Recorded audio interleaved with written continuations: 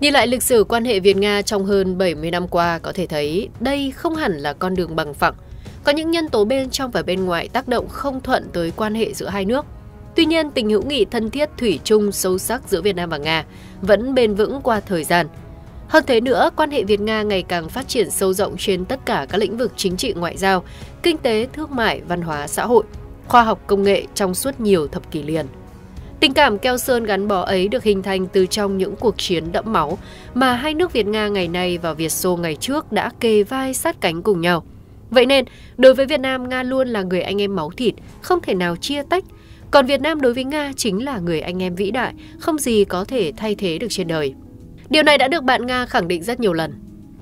Lần gần đây nhất là trong một sự kiện gây chấn động thế giới, nó khiến cho những người đồng minh thân thiết của Nga như Trung Quốc và Triều Tiên phải ghen tị với Việt Nam trước sự trọng thị quá lớn này. Vậy chi tiết ra sao chúng ta sẽ cùng nhau đi tìm hiểu trong video số ngày hôm nay.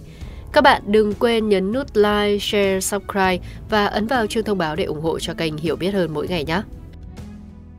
Vâng, liên quan đến sự kiện trên, các kênh truyền thông lớn nhỏ trong ngoài hai nhà nước đã liên tục đưa tin như sau. Sáng ngày 12 tháng 8 năm 2024 giờ Moscow, Đại tướng Phan Văn Giang, Ủy viên Bộ Chính trị, Phó Bí thư Quân ủy Trung ương, Bộ trưởng Quốc phòng Việt Nam, dẫn đầu đoàn đại biểu cấp cao tham dự lễ khánh thành đài tưởng niệm các chiến sĩ tình nguyện quốc gia Việt Nam tham gia chiến đấu bảo vệ thủ đô Moscow trong cuộc chiến tranh vệ quốc vĩ đại năm 1941-1945. Tại đây, Thượng tướng Viktor Goremiskin, Thứ trưởng Quốc phòng, Tổng cục trưởng Tổng cục Chính trị Quân sự các lực lượng vũ trang Liên bang Nga đã chủ trì buổi lễ. Cùng tham dự lễ khánh thành có Thượng tướng Alexander Fomin, Thứ trưởng Quốc phòng Liên bang Nga, Thượng tướng Phùng Sĩ Tấn, Phó Tổng Tham mưu trưởng Quân đội Nhân dân Việt Nam và Đại sứ Việt Nam tại Liên bang Nga Đặng Minh Khôi. Phát biểu tại buổi lễ, Đại tướng Phan Văn Giang bày tỏ xúc động khi cùng lãnh đạo Bộ Quốc phòng Liên bang Nga và các đại biểu khánh thành đài tưởng niệm. Đại tướng Phan Văn Giang nhấn mạnh, Bộ Quốc phòng, Quân đội Nhân dân Việt Nam đánh giá cao và trân trọng cảm ơn Bộ Quốc phòng, các lực lượng vũ trang Liên bang Nga đã xây dựng đài tưởng niệm tại Moscow. Đại tướng Phan Văn Giang nêu rõ, đài tưởng niệm các chiến sĩ tình nguyện quốc tế Việt Nam được khánh thành tại Moscow cùng với đài tưởng niệm các quân nhân Liên Xô Liên bang Nga Việt Nam đã hy sinh vì hòa bình và ổn định khu vực tại tỉnh Khánh Hòa, vừa là minh chứng cho truyền thống lịch sử, vừa là biểu tượng cho những nỗ lực củng cố và làm sâu sắc quan hệ đối tác chiến lược toàn diện giữa hai nước. Đại tướng Phan Văn Giang khẳng định gần 75 năm qua, vượt qua thăng trầm của lịch sử, biến động của tình hình thế giới và khu vực, nhân dân và quân đội hai nước luôn cùng nhau vun đắp, giữ gìn và phát triển quan hệ hữu nghị truyền thống tốt đẹp, đi vào chiều sâu, đạt hiệu quả thực chất. Đại tướng Phan Văn Giang bày tỏ sự kính trọng và tri ân tới các thế hệ lãnh đạo, nhân dân hai nước đã không ngừng vun đắp, củng cố quan hệ hữu nghị truyền thống, trở thành đối tác chiến lược toàn diện hiện nay. Nhân dân và quân đội nhân dân Việt Nam luôn ghi nhớ sự giúp đỡ trí nghĩa, trí tình to lớn và hiệu quả mà Liên bang Nga đã dành cho Việt Nam trong công cuộc đấu tranh thống nhất đất nước, cũng như trong công cuộc xây dựng và bảo vệ Tổ quốc. Về phần mình, Thượng tướng Viktor Koremiskin nhấn mạnh trước sức tấn công mãnh liệt của phát xít Đức, các chiến sĩ Việt Nam đã tình nguyện tham gia trận chiến bảo vệ Moscow. Các anh đã thể hiện sự dũng cảm kiên cường, kề vai sát cánh với những lính Hồng quân Liên Xô trên chiến trường để đẩy lùi kẻ xâm lược. Sự đóng góp to lớn của các chiến sĩ Việt Nam đã góp phần làm nên chiến thắng trong cuộc chiến tranh vệ quốc vĩ đại. Do đó, Thượng tướng Viktor Goremiskin đã thể hiện sự tôn kính của mình dành cho chiến công của các chiến sĩ tình nguyện quốc tế Việt Nam. Đồng thời tin tưởng rằng công trình đài tưởng niệm sẽ góp phần giữ gìn ký ức lịch sử về cuộc chiến tranh vệ quốc vĩ đại, cũng như góp phần tăng cường hợp tác và thắt chặt tình hữu nghị giữa hai nước trong thời gian tới. Đối với Nga, Việt Nam luôn là người em vĩ đại nhất của mình. Nói thêm về công trình lịch sử này, đài tưởng niệm được đặt tên là những người bạn liên minh chiến sĩ Việt Nam nằm bên trong công viên Patriot. Công trình gồm có 3 bức tượng khắc họa hình ảnh các chiến sĩ tình nguyện quốc tế Việt Nam đang chốt giữ tại vị trí phòng thủ và chiến đấu đến hơi thở cuối cùng trong trận đánh bảo vệ Moscow. Toàn bộ tượng đài được đặt trên bệ khắc họa hình ảnh công trình phòng ngự, gồm vật cản chống tăng và chống đạn. Cả công trình được chế tác bằng đồng cao cấp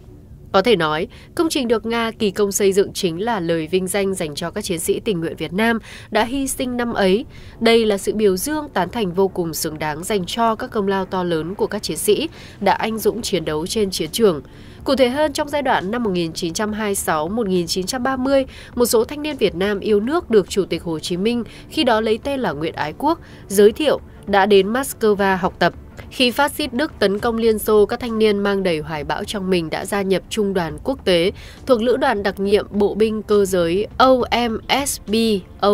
của Bộ Dân ủy Nội vụ Liên Xô để chấn giữ địa bàn trọng yếu kế cận Điện Kremlin. Đến ngày 7 tháng 11 năm 1941, các đồng chí đã tham gia lễ duyệt binh lịch sử trên quảng trường đỏ, sau đó tiến thẳng ra mặt trận. Vào mùa đông năm 1941 đến 1942, các chiến sĩ tình nguyện quốc tế Việt Nam đã anh dũng chiến đấu bảo vệ Moscow và cùng quân dân Xô Viết đánh bật lực lượng xâm lược khổng lồ của phát xít Đức ra khỏi cửa ngõ thủ đô, trong đó có 3 đồng chí đã hy sinh tại mặt trận. Đến năm 1986, đoàn chủ tịch Xô Viết tối cao Liên Xô đã truy tặng huân chương, huy chương cao quý đối với các đồng chí. Đến năm 2020, Bộ Quốc phòng Liên bang Nga đề nghị phía Việt Nam phối hợp giả soát, xem xét khả năng cung cấp thêm thông tin về cá nhân và thân nhân của các chiến sĩ tình nguyện quốc tế Việt Nam đã tham gia chiến đấu bảo vệ thủ đô Moscow trong chiến tranh thế giới lần thứ hai để bổ sung vào cơ sở dữ liệu trong bảo tàng con đường ký ức. Đây là bảo tàng thuộc nhà thờ chính của lực lượng vũ trang Liên bang Nga, tọa lạc bên trong công viên Patriot, ngoại ô Moscow. Sau đó Nga còn đề nghị Việt Nam tham gia đóng góp ý kiến đối với quá trình phát thảo đài tưởng niệm các chiến sĩ tình nguyện quốc tế Việt Nam. Sau thời gian dài hai bên tích cực phối hợp trao đổi thống nhất, bạn Nga đã thi công xong công trình và đến nay đài tưởng niệm đã được khánh thành theo đúng kế hoạch. Qua những gì mà Nga đã làm và cư xử với Việt Nam có thể thấy, anh bạn này đã luôn dành cho Việt Nam một sự trọng thị rất lớn. Trong đó, Nga không chỉ biết ơn những gì mà Việt Nam đã đóng góp cho cuộc chiến tranh vệ quốc vĩ đại của mình, mà còn thể hiện sự tôn trọng đối với Việt Nam trong suốt quá trình thiết kế, thi công và khánh thành đài tưởng niệm các chiến sĩ quốc tế tình nguyện của nước bạn. Nhìn vào đây mới thấy được tình cảm mà nước Nga dành cho Việt Nam to lớn và sâu đậm ra sao. Rõ ràng chỉ có những người anh em mà Nga thật sự quý trọng, tin tưởng và yêu thương mới nhận được đặc quyền này. Và đây cũng là điều hoàn toàn dễ hiểu khi truyền thống tốt đẹp về tình đồng chí và tương trợ lẫn nhau giữa hai nước Việt Nga đã được thử thách qua thời gian. Nó đã tạo nên nền tảng vững chắc để hai nước tiếp tục tăng cường quan hệ đối tác chiến lược toàn diện. Nếu như trong quá khứ Việt Nam cùng với bạn Nga kề vai sát cánh trong cuộc chiến tranh vệ quốc vĩ đại, thì ở thời điểm hiện tại Việt Nam luôn bên cạnh Nga bất chấp việc nước này liên tục bị Mỹ và phương Tây cấm vận, đồng thời bị lên án bởi những người anh em khác vì cuộc chiến tranh Ukraine mà Nga hiện đang tham gia vào. Trước sự thủy chung son sắt đó của Việt Nam, rất nhiều lần các nhà lãnh đạo nước Nga đã tỏ ra xúc động và liên tục nói rằng Việt Nam là một nền văn minh lâu đời, rực rỡ và độc lập trong bức tranh toàn cảnh của một thế giới đa cực. Trên trường quốc tế, Hà Nội theo đuổi chính sách đối ngoại độc lập và ủng hộ mạnh mẽ trật tự thế giới công bằng dựa trên luật pháp quốc tế, các nguyên tắc bình đẳng giữa các quốc gia và không can thiệp vào công việc nội bộ của nhau. Chúng tôi cảm ơn các bạn Việt Nam đã thể hiện lập trường cân bằng về cuộc khủng hoảng Ukraine và mong muốn thúc đẩy việc tìm kiếm con đường thiết thực giải quyết khủng hoảng bằng các biện pháp hòa bình. Tất cả những điều này hoàn toàn phù hợp với tinh thần và bản chất mối quan hệ giữa hai nước chúng ta. Hy vọng rằng trong tương lai tới đây mối quan hệ Việt Nga sẽ tiếp tục phát triển tốt đẹp. Đối với Nga, Việt Nam mãi là người anh em vĩ đại, chẳng khác gì máu thịt của mình.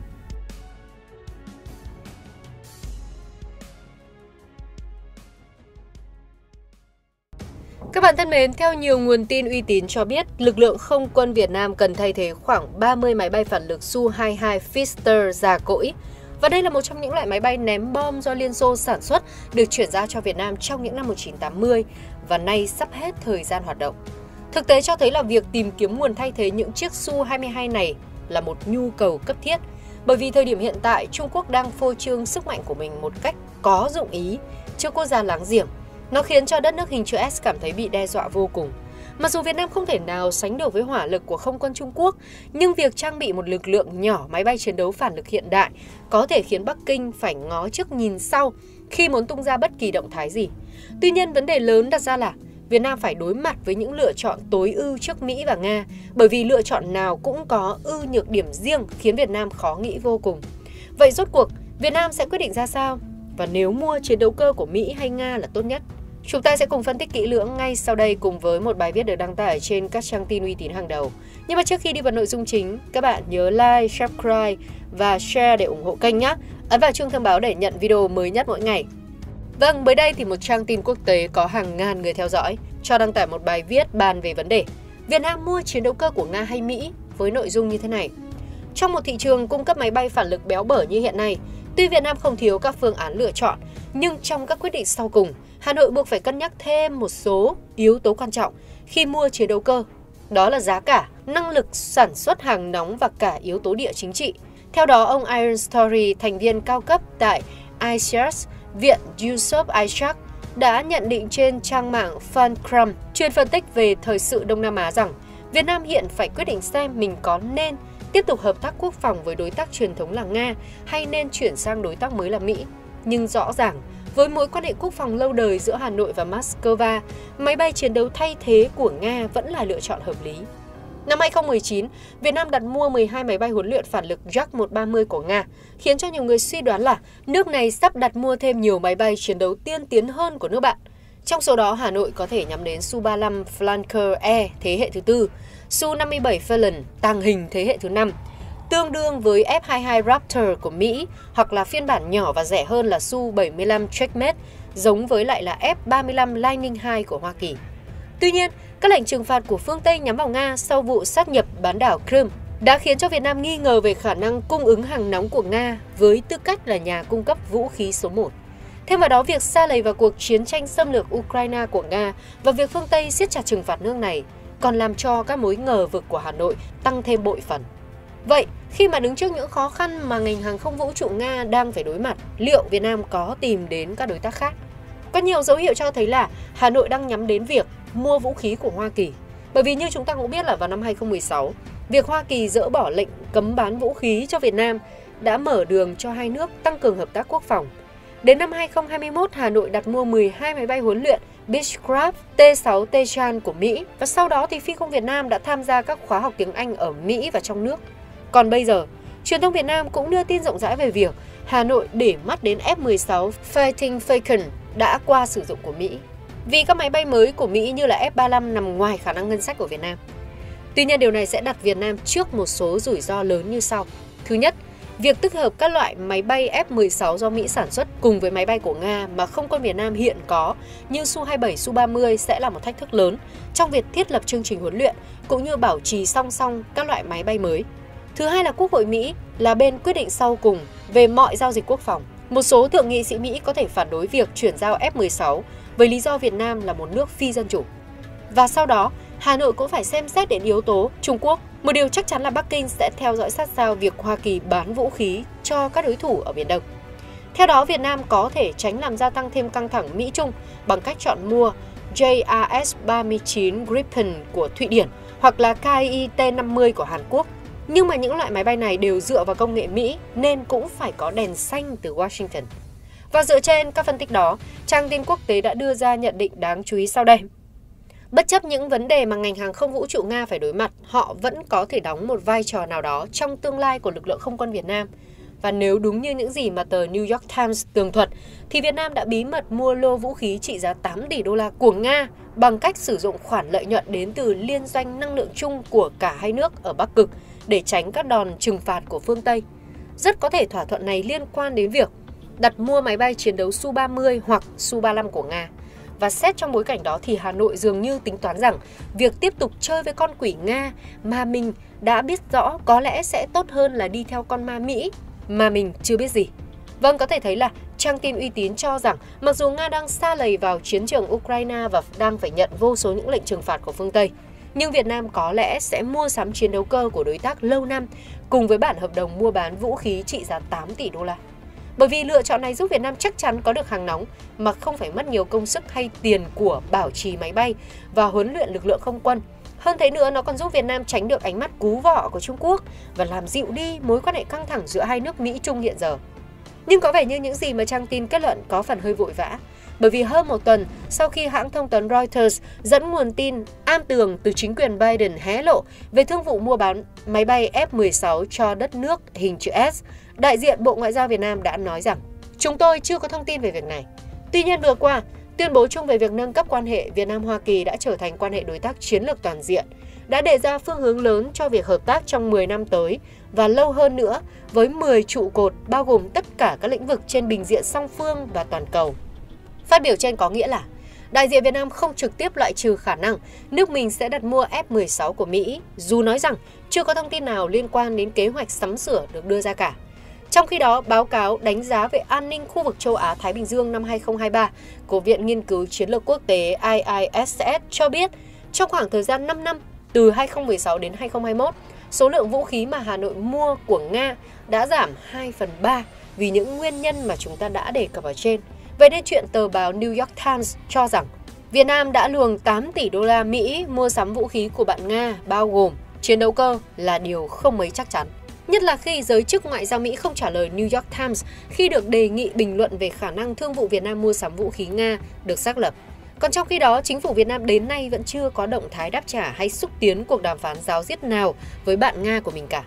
Hơn thế nữa, chúng ta cũng cần phải đính chính rằng quá trình chuyển đổi vũ khí Nga sang vũ khí phương Tây của Việt Nam sẽ không quá phức tạp như những gì trang tin đã nói. Bởi vì Mỹ luôn có chính sách hỗ trợ huấn luyện phi công sử dụng máy bay chiến đấu cho đối tác của mình. Điều này giúp lực lượng không quân Việt Nam nhanh chóng nắm được cách thức vận hành siêu phẩm của Hoa Kỳ.